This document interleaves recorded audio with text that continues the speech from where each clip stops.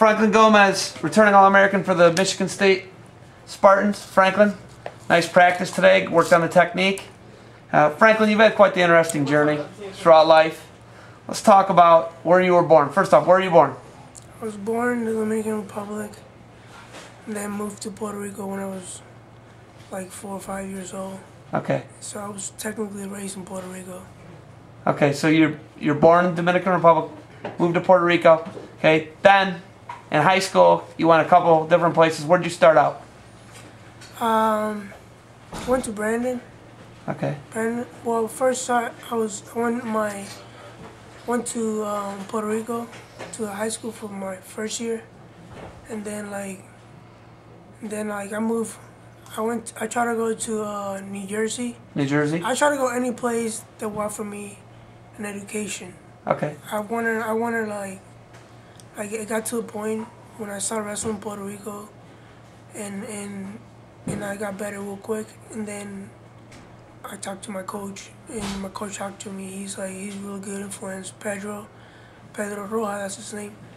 And Pedro he- Rojas? Yes. Okay. That's his name. He's, He was your freestyle coach in Puerto Rico, right? Freestyle coach. He's he's like my dad. He's big big influence on, on everything I do. You know. So he Pedro influenced you to come to the United States then. Well, he didn't influence. He talked to me. He never he never makes me uh like make like make choices for me. He he's really he's really like he always says you're the one that makes the decision at the end. But he definitely definitely encouraged encouraged me to to go to the United States to get a better education. You know, and since wrestling was bigger there. I would, I would I would develop my wrestling skills better there, you know. Okay, so you went to New Jersey for a year and for a year. Yeah, for a year, and then I didn't know I didn't know any English, so I was like, So you're you're relatively new English speaking. yeah, I'm yeah, It's pretty good. yeah, I mean, you got pretty good English, so you're obviously fluent in Spanish. yes, Okay, so talk about more about Pedro. Obviously, everyone knows you're a one-time state champ for Brandon. You Mm-hmm. uh, actually won the junior nationals for representing Puerto Rico. yeah. Only person ever to do that. Talk about your relationship with Pedro a little bit more. Uh, like son and dad, you know, just just like I remember like in practice when we were younger, like I he used to sit down with us at the end of the practice and he would talk to us about all the bad influence that we can like we can be facing. And then he said like if you want to have a goal in life, don't let uh, the bad influence you. So he always pick a group, especially like the group that was always like always show up to practice that were dedicated. And he talk to us at the end. It's like focus on what you do. You know, don't let girls or women's. You know, uh, because some, he said that's that's gonna come. Like in a couple years, you guys gonna start like like dating and stuff, and like girls are probably gonna take you out of course. But if you have your focus on what you do, you know you you should accomplish what you want. And he just talked to us like once in a while in a group, and like it just like like I never had anyone the the that talk to me about all the different like The aspects of life. yes like in So he that was way. more. You're saying he's more than a, a coach. He, you know, he was. He, he gave you life advice and wanted you to be a good person, not just a good athlete. Yeah, not just like, not just become a what Olympic champ or world champ, but just like have a better life. You know, have a better education. He always made a lot of emphasis on the education. You know, it's really important. Like at first, when I even before I started wrestling, I started wrestling when I was like 12, 13 years old. So you're a late starter in wrestling Yeah, as well, yeah. and you pick things up quick, Franklin. Yeah. yeah, and and he's like, I remember he always like, if you're not gonna, if you're not, I want you guys to bring grades A's and B's, you know. So he was into the school. He wanted to see you be good yeah, students so like, as well. like when I, I was in school, I would just like, I remember I used to be like a B student, C student. But I really didn't like care as much. I just like went there and just like fool around pretty much and like do like enough to like pass. You know, I didn't really care that much. I didn't I didn't see no like I I thought as long as I pass, you know, be fine. But then when I started wrestling, everything changed. Everything, my life, just like discipline, you know, the grades. I started like getting study habits, which is real hard for a lot of young people. You know, especially when you get to college, like if you don't have study habits, it's gonna be real hard. You know, just to like, cause college is not easy. You know, you just gotta like try hard and, and, and focus. You know. You got to be disciplined and buckle Yeah. down on the grades. Okay, Franklin, uh, you are a freestyler, definitely. You're a Yeah. freestyle. You did freestyle before you ever did folk style, correct? Yes, I did oh. freestyle for like probably like I've been doing folk style for like four years, five years maybe. You took third in the NCAA tournament and won the Big Ten last year, Yeah, and with four years of limited folk style Yeah. experience. about that. That's not bad. Four or five years, yeah. It's pretty good. Okay, I want you to talk about uh, your influence, your host family, uh, Mike Joyce and Brandon, Florida. Oh, it's just a blessing. Blessing from God, seriously. Uh, when I, after I uh, went back to, because I went back from New Jersey, I went back to Puerto Rico, like just for many reasons, you know, the weather, everything, like everything. You know, I went back and then I decided to go to, I, like, I, I decided, like, I wasn't going to go back again to the United States. You know, because I went back there and I was struggling with the English. So it was like real hard for me. I was by myself. In New Jersey. By myself. Like, it was funny because, like, it took me like two months to convince my mom to let me do that. And I was like, like, my mom, like, you know how hard it is to do that, you know? Let's, like, let's say, like, your mom, like, you say, like, mom, I want to go to China and just, like, study and wrestle. And you don't know who you're going to be with like that, you know? It just, the people I was going to be with, like, I didn't know no one. It was just all, like, they're like friends, you know, friends and know friends, you know. Yeah. My coach you know friends, and I and they just like, yeah, we should we'll help them out.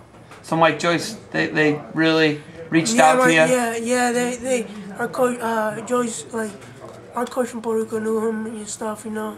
They knew they knew some of the people from uh, from Miami and stuff from because my coach originally is from Cuba. he uh, Pedro? He, yeah, he's he knows he knows a lot of people from Miami and Florida and stuff like that, you know. So he he he uh, I was gonna go to to whatever school. It it is like it's crazy because like I didn't really my main focus was, was to study, get my education, and at the same time try to get a good school, you know, wrestle. But really, just any school, and I don't know. I think it was a blessing because um, yeah, Mike wanted to help me out, you know, and and and we they my coach and stuff they knew each other a little bit, you know. They didn't, but not not too super close, you know. Okay. So it was like it was like really a blessing, you know. He he's such a good guy. His family, his um, just like His sons. sons, yeah, all of them. It just like I can't explain. Like I wouldn't be here if it wasn't for them. Okay. You know, everything a lot of people do, like I, I have success, like, like especially last year I did pretty good, I guess. But like, when someone does good, you you always gotta like, it's not just that person, it's always the people around The support you. network. Yeah, the people around you. So Okay. So the Joyce is definitely a huge part Oh, of yeah, where, why yeah. you're here at Michigan State now too. yeah, he just. He's he even now he's like oh I always go like especially Christmas I always go back. He's like my second dad. Okay. Pedro and Mike Joyce. Yeah. Okay. All right. Last thing, and I'm gonna let you off the hook. Gonna get to the game here, the big uh, Purdue Michigan State game. Last thing, let's talk about your mom.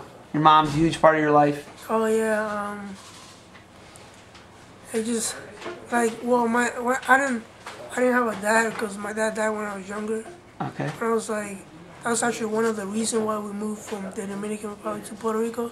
Because your father passed away. Yeah, when I was younger, real young. So then like it was uh, it's me and two of my uh, I got two more brothers, so it was three total, you know. So it was like my mom by herself, you know, three three boys. The economy wasn't good, you know. So I just think she's like in every aspect, like she, I, I she's a whole uh, like a hard work working woman, you know. Yeah, hard worker. Yeah. Yeah, she's just like, like just like in any immigrant, you know, you go back to try to do the best for your, for your family, you know. And I think like especially like, like putting me to church and stuff like encouraging me to go to church, it's been a blessing, man. I I. I I've been growing like, like in all the aspect of my life, you know. Like I I see things different than everyone else, you know. Like I just like I even now I used to go to church and like I think that helps me so much in college.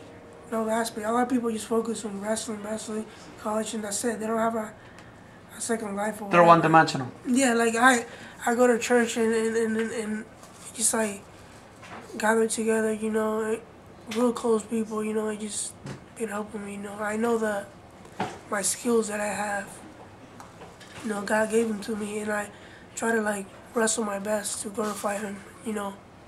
And that's like a drive, you know, and I know like, like no matter who who's my opponent, you know, like I'm not like, like I see, I think like I was always like be like no matter who it is, I was like, oh God is with me, you know, who's gonna be against me, stuff like that. So it's, I think it helps me a lot, you know, just, and even even if I lose, you know, because a lot of people just think about, even if I lose, like, I think wrestling should not determine our happiness. A lot of people get real down, you know, they get real sad, and, and I mean, I don't think I should be happy if I lose, but I, I don't think I should be like, like depressed or anything like that. It's just part of life, you know. You just just try to do your best. Next time, work hard. Watch what you did wrong, you know, and grow. And just keep going, you know.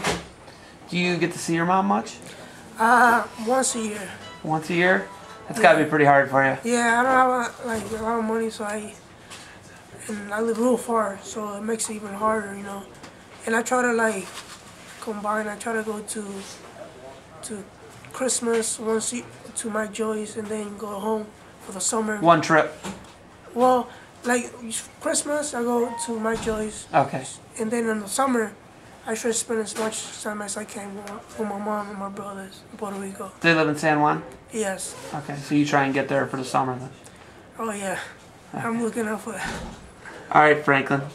We got uh got the football game coming up, so we're gonna go take off to that. But we are gonna be catching up with you, man. Most certainly an interesting life and an interesting journey, and we're looking for big things out of you to improve on that third place finish, get another Big Ten title, and uh, get the Spartans back up there, man. All right, and I want to say hi to my people in Brandon and Puerto Rico.